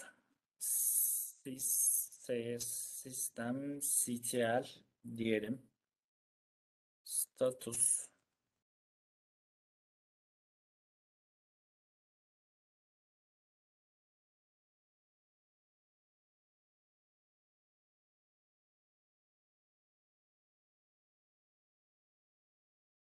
Normalde taba basınca hızlıca geliyordu ama sistem ctl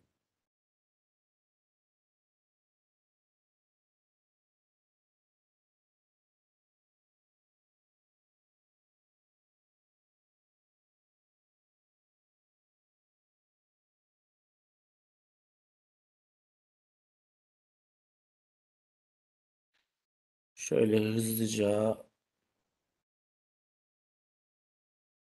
Ut.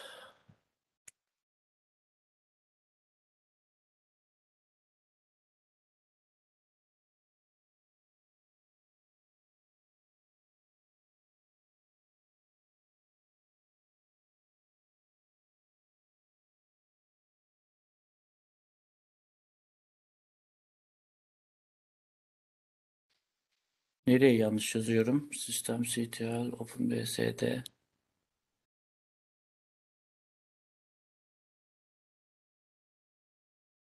Web bu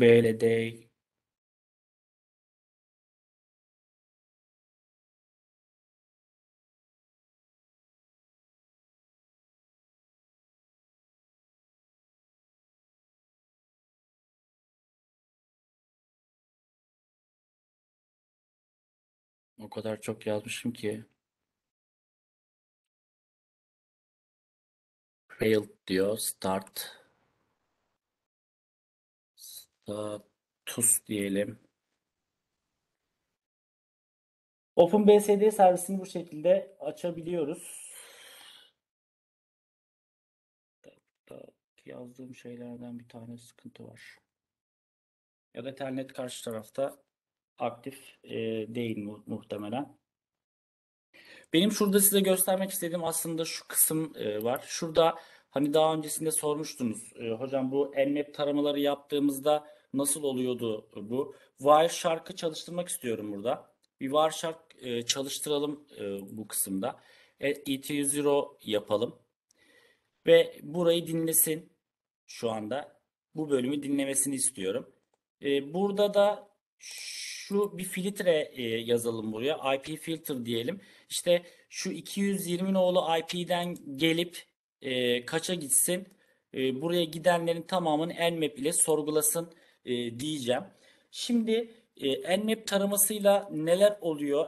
Nmap tire A komutuyla 203.0.113.20 Doğru değil mi?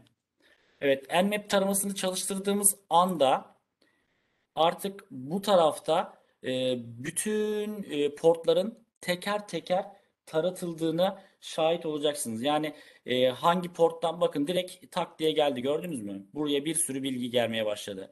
Yani e, hemen Wireshark'ta izlediğimizde Nmap portu bütün portları teker teker ne yapıyor? Teker teker tarıyor. O nedenle e, burada neler var neler yok ne yapabiliyoruz görebiliyorsunuz. Burada ben size e, şunu gösterecektim aslında o OpenBSD servisiyle. Telnet aslında çok önemli bir e, lab değildi o OpenBSD olayı. Şurası çok e, önemli bir bölüm değildi. Telnet'in, Telnet trafiğinin e, şey olduğunu gösterecektim. Plain text bir formatta gittiğini gösterecektim sadece. Burada TCP'ye tıklayıp da e, TCP stream'i gör dediğinizde mesajlaşmaların karşı tarafa hızlı bir şekilde karşı tarafa plain text bir formatta, açık bir formatta gidip e, geldiğini gösterecektik.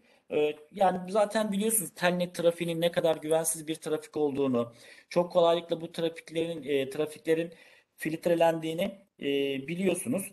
Biz aslında direkt bu cihazı nasıl bir e, hardening yapabiliriz? E, o konuya direkt giriş yapabiliriz aslında.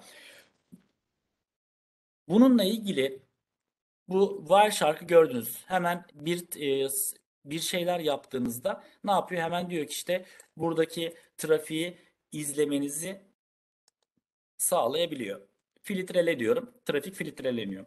Wireshark Wireshark'tan da biraz bahsedelim. Kendisi çok e, kullanılan bir trafik network analizörü değil mi? Trafik analizörü.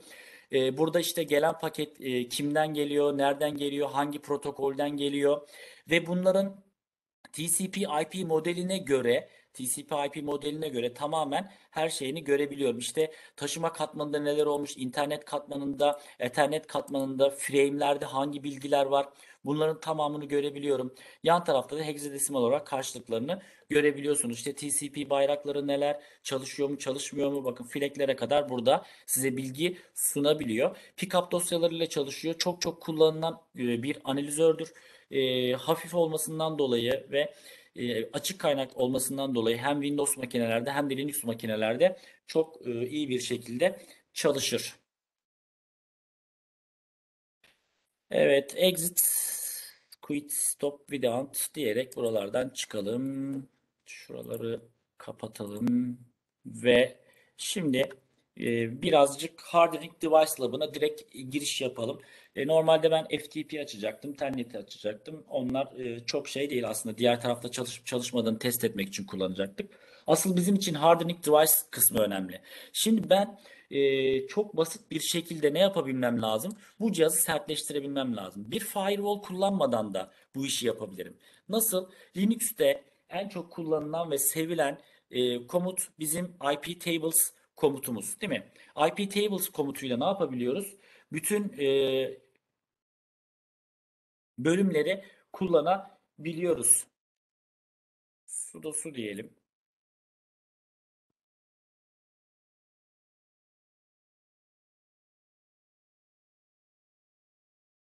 İptables-l komutu ile ben ne yapabiliyorum? Bütün kısımları görebiliyorum değil mi? iptables bir saniye. Evet. iptables-l komutu ile bakın burada 3 tane chain var. 3 tane zincir. Input chain'imiz var. Yani giriş chain'leri görebiliyorum. Output yani çıkış chain'lerini görebiliyorum. Bir de forward chain'lerini görebiliyorum. Yani hem iletilen hem gelen input giriş chain'leri, output çıkış chain'leri, bir de ne oluyor? İçerisine girdiğimiz bölüm oluyor. Ses ve görüntüde sorun mu var? Chat ekranı benim önümde açık değil, akıyor ama. Ee, hocam ses ve görüntü gayet net. E, tamam şimdi oradan yazan arkadaşlar benim gözüme takıldı da. Hızlı akıyor benim önümde chat. Chat zaten bende açık değildi o, o nedenle. Neyse devam ediyorum. iptables. Ne yapabiliriz iptables ile? Burada e, bir kural yazabiliriz. Örneğin iptables deriz. İşte tire a komutunu kullanabiliriz. Yani bu ekle demek. Nereye ekle? Bir input ekle bizim için. Peki biz inputları nasıl bir input ekleyelim? Bir tire P yazıyorum. Bir protokol belirlemek istiyorum. ICMP protokolünü belirleyeceğim. Peki belirlediğim bu protokol sayesinde paketler ne yapılacak? Bir eylem belirlemek istiyorum. Drop edilsin diyorum. Bakın bu paketler drop edilsin. Yani bana kimse ping atamasın. Bakın bir öncekinde ki listeleme yaptığımda e, input chain'inde bir boşluk vardı. Artık input chain'inde ne var? Bir bölüm var. Peki ben şimdi buraya geliyorum. Ping e, kaçtı bu makine? 203.0.113.20 miydi? Ping atmaya çalışıyorum. Paketler gitmiyor. CTRL-C ile kıstım. Aa bakın 7 tane paket gitmiş aslında. Transmit edilmiş. Tekrar geliyorum buraya. Tekrar kontrol ediyorum. Bütün paketlerin ne olduğunu görüyorum. Düşürülmüş olduğunu görebilirim. Nasıl görürüm? -v komutu ile bunun e, nasıl olduğunu, paketlerin kaç tane paket düşürüldüğünü, hangi paketlerin e, yapıldığını görebilme şansımız var.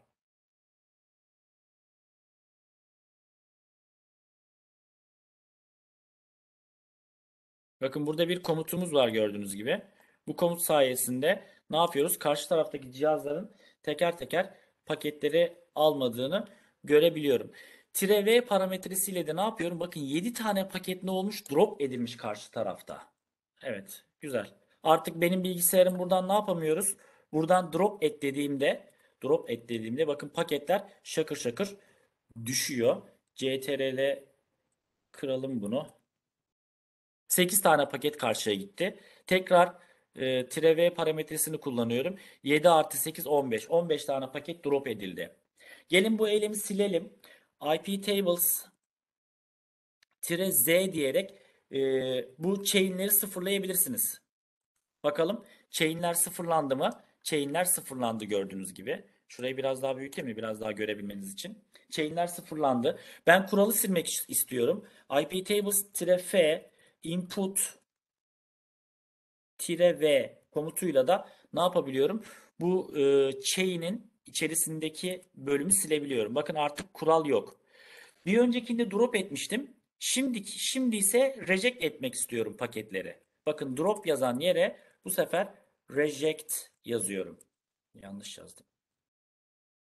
Reject. Değil mi? Bu sefer tekrar bir kural daha tanımladım. Bakıyorum bu sefer paketler reject edilecekmiş. Aynı ping'i tekrar atıyorum.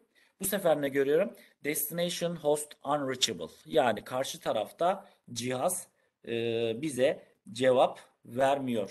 Bunu görebiliyorum karşı tarafta. Evet. Reject'i de görmüş olduk böylelikle. E, bu karşı tarafı artık cihazlarımız ne oldu? Daha da sertleşmiş hale geldi. İsterseniz HTTP filtrelemeyi de aynı zamanda burada ekleyebilirsiniz. Mesela ben bu eklediğim kuralı tekrar silmek istiyorum. Temiz bir kuralda çalışalım.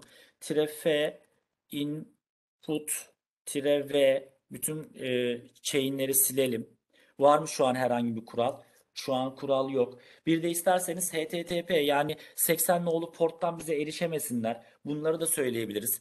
Mesela şu anda şu anda e, bu buraya biz erişebiliyor olmamız lazım HTTP servisini kullanarak. Yani şu e, Mozilla şeyi açtım. Firefox'u açtım. Firefox üzerinden e, buraya geliyorum. Neydi benim IP'm? 203.0.20. Var mı karşı tarafta? Evet karşı tarafta bir şey var bakın şu anda. Bir e, bağlantı var. Şimdi HTTP isteklerini de engellemek istiyorum. IP tables IP tables IP tables tire A input tire P protokolümüz bizim TCP protokolü. Peki destination portumuz bizim ne? Destination portumuz bizim 80. Peki bu paketler ne olsun? Drop edilsin. 80 nolu paketten gelenler. Ne oldu? J'yi yazmayı unuttum bu sefer de. Evet. Bakalım böyle bir protokol yazmış mıyım? Yazmışım değil mi? Şimdi yan tarafta yeni bir sekme daha açıyorum. 203.0.113.20'ye connecting yapmaya çalışıyorum. Ve bakın bir öncekinde anında girebildiğim sayfaya şu an connecting diyor ve beni bekletiyor gördüğünüz gibi. Değil mi? İçeriye giremiyorum. Yani 80 nolu port artık bu e, firewall tarafından yani basit bir firewall ya da basit bir komut sayesinde engellenmiş oluyor. Şuradan e, 12 tane paketin buraya geldiğini görüyorum bakın. Değil mi? Bunların drop edildiği bilgilerini de görebiliyorum. Kaç byte'lık paketler olduğu bilgisine kadar burada öğrenebiliyorum. Şimdi e, gene silelim tüm bilgileri. Chain'leri temizledim. Chain'leri temizledikten sonra tekrar Enter'a basıyorum. Bakın deminden gelmeyen sayfa şimdi artık geliyor. Yani ne yaptım? İçeride ağımın tamamını hardening yaptım. IP tarafından atılmamasını öğren IP'nin atılmasını pinglerin atılmamasını sağladım. Aynı zamanda 80 nolu porta erişimi de engellemiş oldum. Bunun aynısını şuraya bir gelebilirsek eğer bunun aynısını ne yapabilirim? Drop değil de reject de edebilirim. Reject de edebilirim.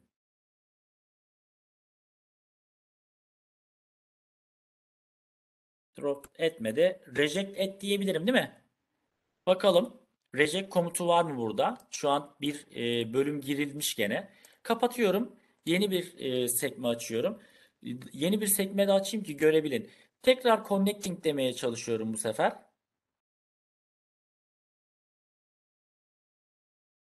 Waiting diyor. Bekliyor şu anda.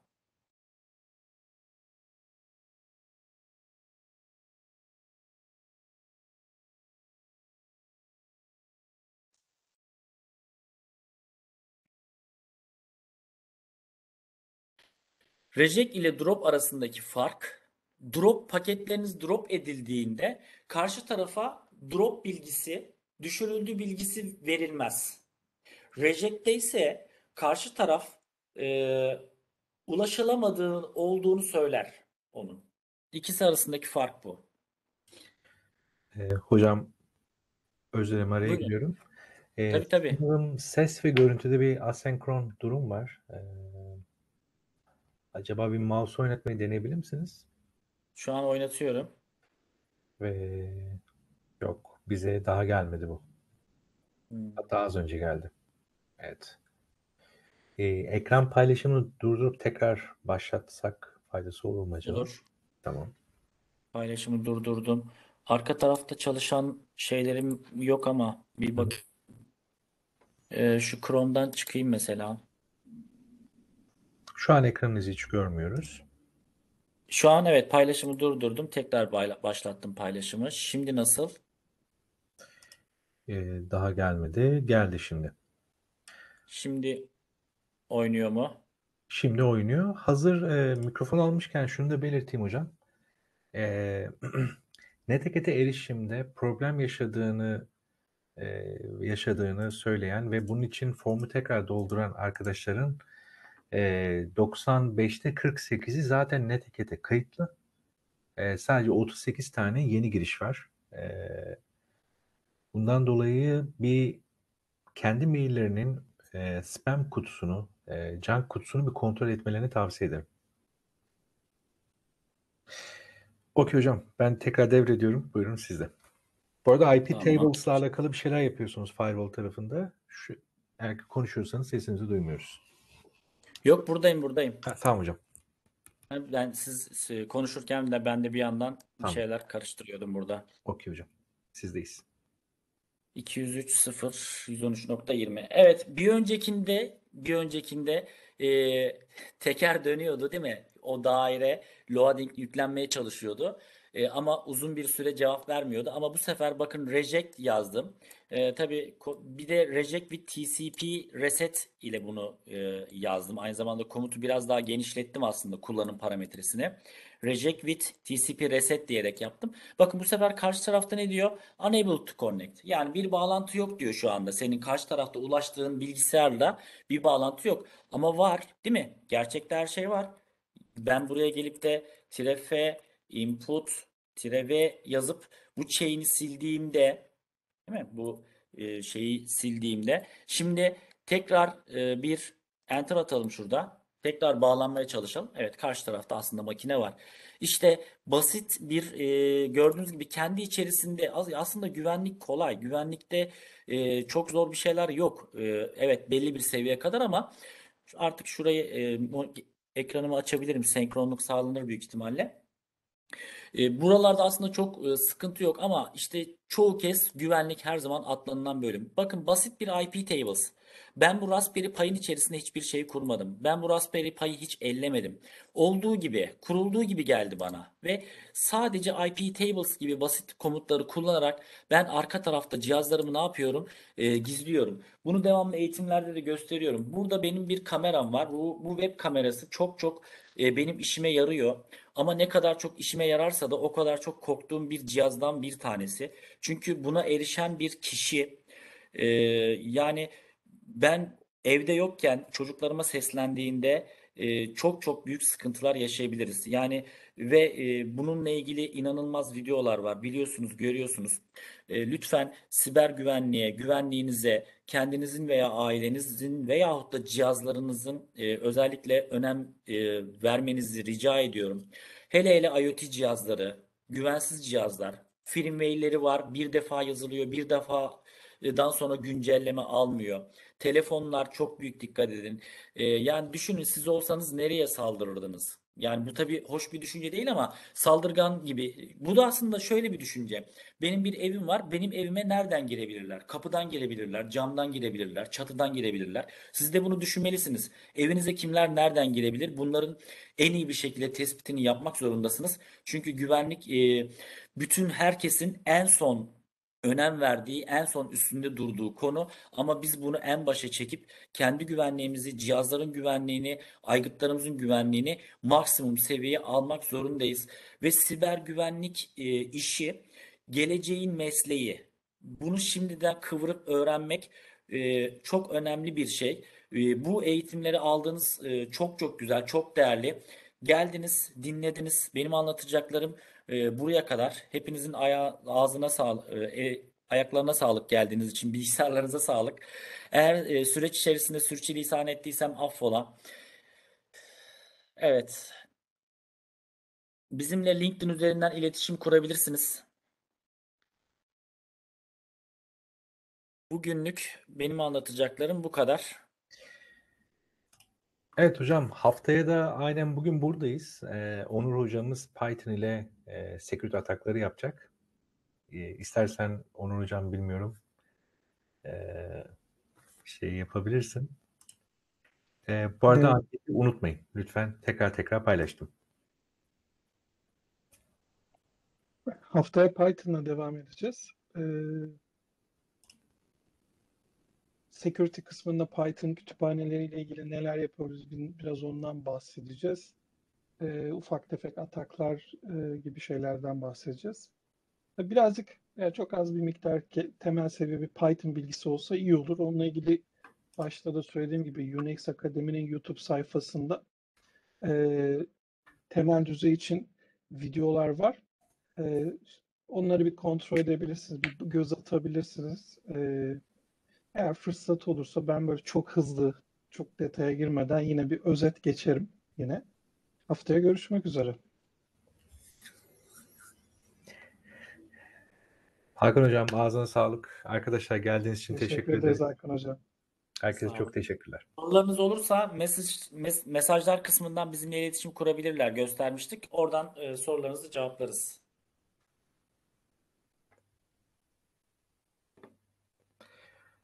O zaman iyi akşamlar herkese. Görüşmek üzere. Görüşmek Evet, üzere. herkese iyi akşamlar. Herkese iyi akşamlar. Hakan Hocam ağzınıza sağlık. Sağ olun, teşekkürler. Hoşça kalın. Hoşçakalın.